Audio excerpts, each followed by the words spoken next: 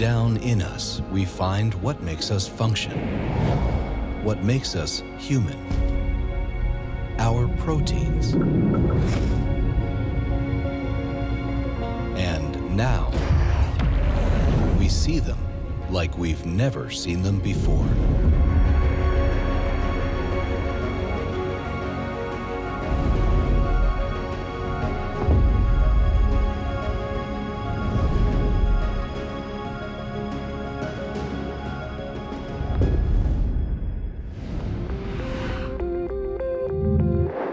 The pancreas is an organ located in the abdomen. Within the pancreas, we have structures called the islets of Langerhans. The islets are the ones that produce the protein insulin and are responsible for regulating sugar levels in our bodies.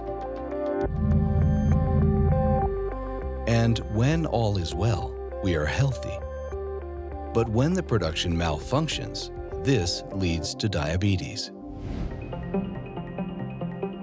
Within the Human Protein Atlas project, researchers are mapping out all of the different proteins in the human body.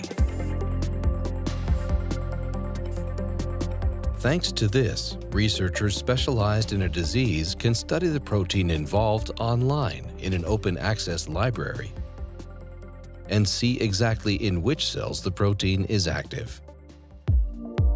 And now, this research has been taken even one step further. The researchers within the HPA are now mapping out the proteins in 3D.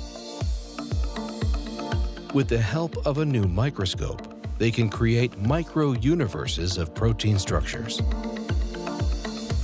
This makes it possible for Cecilia Lindskog to voyage through the pancreas to study the islets of Langerhans, the cells that produce the insulin. What you see here are the islets of Langerhans that are stained in green.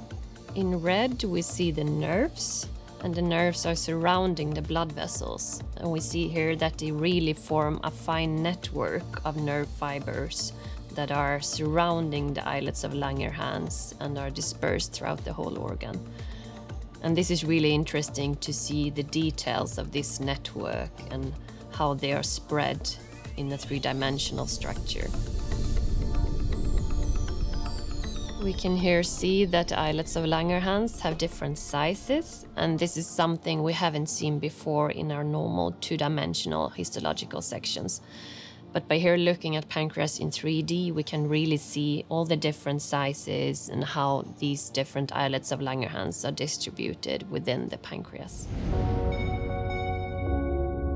If you would look at this image from a diabetes patient, you would see much fewer of these cells. Because in the first stage of the disease, the islets of Langerhans start to die, reducing their number and making it so that the few ones that are left have to work extra hard to produce enough insulin.